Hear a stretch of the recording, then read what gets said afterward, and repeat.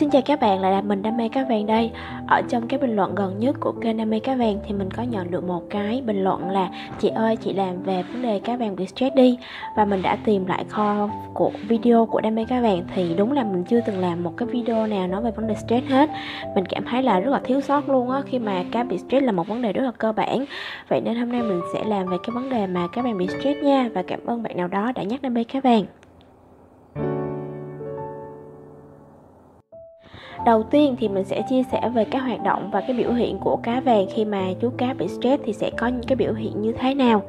Đầu tiên đó là cá sẽ nằm lì ở dưới đáy. Lúc mà các bạn thấy là cá nằm lì ở dưới đáy là bạn biết rằng cá đang trong trạng thái bị stress. Tùy theo sự thay đổi của môi trường, lúc cá bị stress nặng nề thì cá vàng sẽ kìm lại, có nghĩa là sẽ giữ lại và không có di chuyển quá nhiều, à, giảm hoạt động để cơ thể nó vượt qua cơn stress từ trạng thái chịu đựng như vậy tới một tuần sau, hoặc là cá sẽ bị bệnh luôn, hoặc là cá sẽ thích nghi với môi trường đó. Do đó, với cái trạng thái như vậy, nếu mà bạn làm một cái gì đó khiến cho chú cá cảm thấy căng thẳng hơn thì cá sẽ bị bệnh. Và những cái hành động nào sẽ khiến cho chú cá căng thẳng hơn? Đầu tiên, đó là gõ tay vào hồ cá để kích thích cá. Đây là một cái hành động thuộc về thói quen của con người mình, rất là hay làm. Kiểu mà mình thấy cá nằm một chỗ, nằm ở dưới đấy, không có hoạt động thì mình sẽ gõ gõ vào hồ kính để cho chú cá tỉnh. Và bạn không hề biết rằng khi mà bạn làm như vậy thì sẽ kích thích cho cá và cảm, khiến cho cá cảm thấy rất là khó chịu và điều thứ hai là cho cá ăn. Khi mà bạn cho cá ăn á, thì cá cần phải tiêu hóa và cái quá trình tiêu hóa của chú cá trong cái giai đoạn cá bị stress sẽ uh, trở nên khó khăn và nó sẽ gọi là stress chồng chất stress.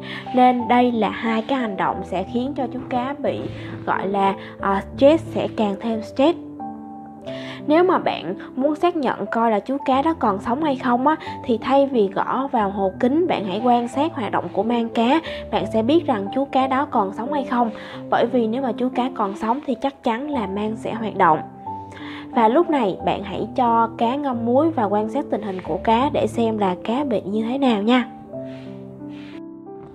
Biểu hiện thứ hai đó là chú cá sẽ lơ lửng trên mặt nước và không hoạt động. Đối với chú cá mà cứ lơ lửng ở trên mặt nước, nó cứ, kiểu, ở cạnh một góc hồ, không hoạt động, là trạng thái chú cá đang bị tích tụ stress giống như việc mà cá nằm lì dưới đáy hồ, lúc này bạn đừng có gõ hoặc là làm bất cứ một hành động gì để kích thích cho chú cá hết, mà hãy quan sát cá nhưng nếu mà so sánh giữa hai triệu chứng cá nằm lì ở dưới đáy hồ và cá lơ lửng ở trên mặt nước, thì lúc mà chú cá lơ lửng là cái triệu chứng cá bị nặng hơn. Và có khả năng là chú cá rất là yếu hoặc là phát bệnh nào đó. Ví dụ như là bệnh về mang cá là một cái loại bệnh mà mình nên nghĩ tới đầu tiên bởi vì khi mà chú cá mắc bệnh mang cá là bệnh phát sinh từ bên trong, mình sẽ không, mình từ bên ngoài mình không có nhìn, mình không có biết được.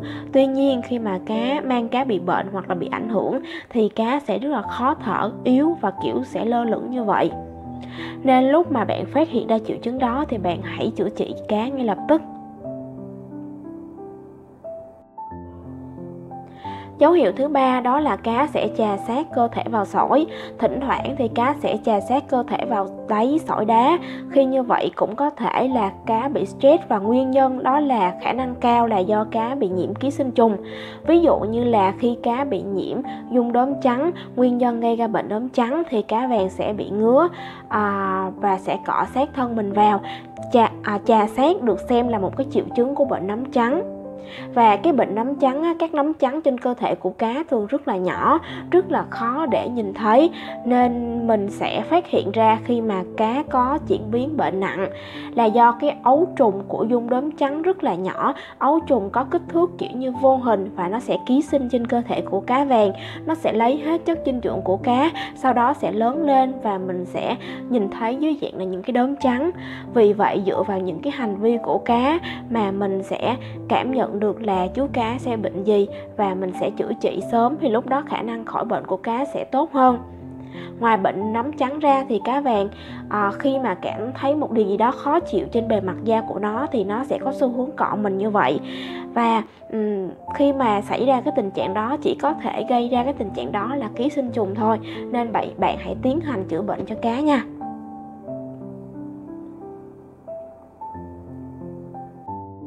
Dấu hiệu tiếp theo đó là cá sẽ hoạt động hoặc là di chuyển một cách điên cuồng. Nếu mà chú cá vàng của bạn bình thường rơi bơi rất là bình thường tự nhiên nhưng bỗng nhiên á, bạn nhìn thấy kiểu bơi có kiểu điên khùng kiểu như giống như là chú cá nó sẽ xoay vòng vòng vòng vòng à, hoặc là bơi nhanh gấp, thì lúc đó ừ, bạn biết rằng chú cá ấy đang bị stress. Giống như việc cọ sát vào người thì khả năng cao là chú cá đó bị nhiễm ký sinh trùng. Nên là trước tiên bạn hãy thực hiện ngâm muối cho cá và tìm ra cái loại côn trùng nào gây bệnh cho cá và điều điều trị ở cái giai đoạn đầu là tốt nhất.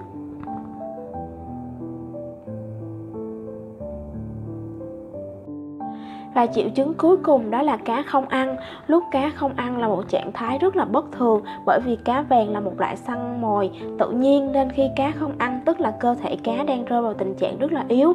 Nói về nguyên nhân thì mình có thể nghĩ tới đầu tiên đó là bệnh mang nè. Vì khi cá bị mang thì cá rất yếu và không có ăn được. Ngoài ra cũng có những cái nguyên nhân khác khiến cho chú cá bạn không ăn được.